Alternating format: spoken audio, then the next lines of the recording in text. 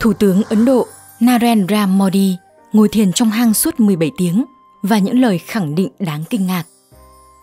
Trong những ngày cuối cùng của cuộc tranh cử vào năm 2019, Thủ tướng Ấn Độ Narendra Modi đã thực hiện một buổi thiền định khiến người dân của quốc gia này cảm thấy sừng sốt. Ông đã đến một hang động và ngồi thiền một mình trong đó. Buổi thiền định này của ông Modi kéo dài 17 tiếng đồng hồ. Trải qua một đêm dài cho đến tận sáng hôm sau, ông mới bắt đầu rời khỏi hang. Sau đó ông Modi lại đến một ngôi chùa gần đó để hành lễ. Mọi người đều nói rằng đây là hành vi rất hiếm thấy của một nhà lãnh đạo. Điều đáng nói là đây không phải lần đầu tiên ông Modi ngồi thiền trong hang động này, vì khi còn trẻ, ông cũng đã từng tu tập tại hang động này trong một thời gian dài. Buổi thiền định của ông diễn ra tại thánh địa Theradnath trên dãy Himalaya ở độ cao 12.250 feet. Lần này được xem là khoảng thời gian ông Modi ôn lại hành trình tu tập trước đây của mình. Sáng ngày 18 tháng 5 năm 2019, ông Modi đã đến đây bằng trực thăng và sau khi đến nơi, ông được bảo vệ chặt chẽ bởi một nhóm vệ sĩ luôn đi bên cạnh mình. Ngày hôm đó ông Modi mặc trang phục truyền thống với chiếc khăn quàng quanh eo. Ông chống gậy và đi vào hang động một mình trước sự chứng kiến của rất nhiều người dân xung quanh. Mặc dù lúc đó ông Modi đã 68 tuổi, nhưng trông ông vô cùng hiên ngang. Người dân Ấn Độ kể lại rằng ông Modi lúc đó giống như có một sức mạnh kỳ lạ. Trông ông không hề nhỏ bé khi đứng trước hang động to lớn hùng vĩ này. Một lúc sau, thời tiết nơi đây bỗng thay đổi và đổ mưa, nhưng ông Modi không hề nản lòng. Không muốn đợi mưa tạnh mà tiếp tục đi bộ lên núi, bất chấp thời tiết khắc nghiệt để đến được hang động Kedarnath. Đền Kedarnath được xếp vào danh sách những đền thờ thần Shiva nằm ở độ cao nhất trên thế giới. Muốn đi tới đền, phải đi một chuyến đi dài đến 21 km. Hang động này nằm ở Himalaya. Xung quanh hang được bao quanh bởi một vẻ đẹp tự nhiên và hùng vĩ. Nơi đây được cho là nơi mà thần Shiva đã từng ngồi thiền. Hàng trăm năm qua, nơi này được xem là một vùng đất linh thiêng, thu hút nhiều hành giả đến đây tu thiền. Vào những năm trước đây, điều kiện ở hang Kedarnath rất đơn sơ và không có cơ sở vật chất hiện đại nào. Trong hang động, thậm chí không có bất kỳ một nguồn sáng nào, nên nơi đây chìm đắm trong bóng tối và rất khó để nhìn thấy bên trong. Nhưng theo thời gian, hang động Kedarnath đã được trang bị hệ thống đèn điện thắp sáng toàn bộ hang động.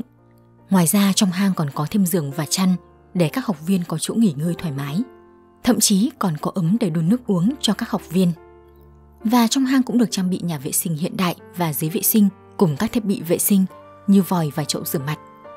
Thậm chí còn phục vụ cả những món tráng miệng đơn giản như kẹo.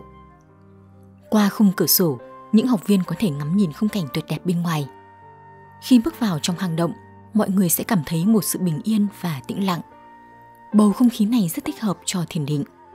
Sau 17 giờ, khi từng bước đi lên hang động Kedarnath để thiền định, thì đến sáng ngày 19 tháng 5 năm 2019, ông Modi mới ra khỏi hang và men theo con đường núi hiểm trở để đến được đền Kedarnath. Trong khi ở lại ngôi đền này, ông dành thời gian để ngắm nhìn những ngọn đồi phủ đầy tuyết và hai bên là sông Mandakini. Sau một lúc ngồi yên lặng trên tảng đá, ông Modi đã bắt tay với những người hành hương cùng người dân địa phương có mặt một cách vô cùng thân thiện. Rồi bắt đầu một cuộc phỏng vấn. Điều đầu tiên ông nói trong cuộc phỏng vấn này là kết quả của cuộc tranh cử sẽ thay đổi. Quả nhiên, sau đó ông Modi đã tái đắc cử thành công. Giành chiến thắng áp đảo với 343 ghế trên tổng số 542 ghế được bầu tại Hạ viện.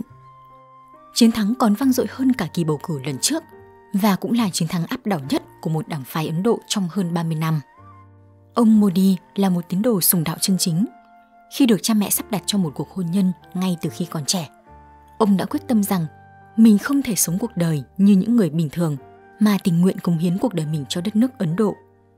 Vì vậy, chỉ sau 3 tháng kết hôn, ông Modi đã rời khỏi gia đình và để lại một bức tâm thư.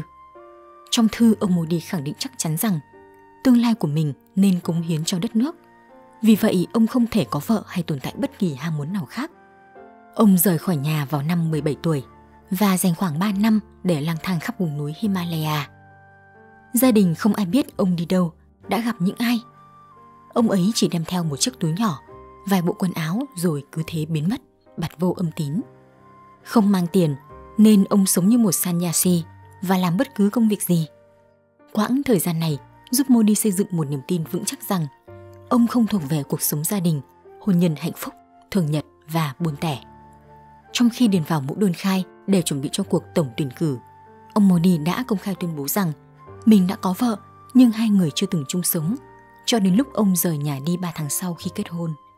Kể từ đó, ông không bao giờ gặp lại người vợ đó trong gần 50 năm và cũng không biết thông tin gì thêm về bà. Kết thúc 3 năm, ông Modi quay về, gia nhập tổ chức tình nguyện quốc gia.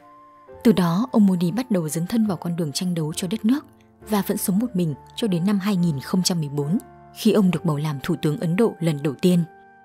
Dù có xuất phát điểm thấp, nhưng với khả năng tổ chức cũng như kiến thức sâu rộng, ông Narendra Modi đã vươn mình một cách ấn tượng.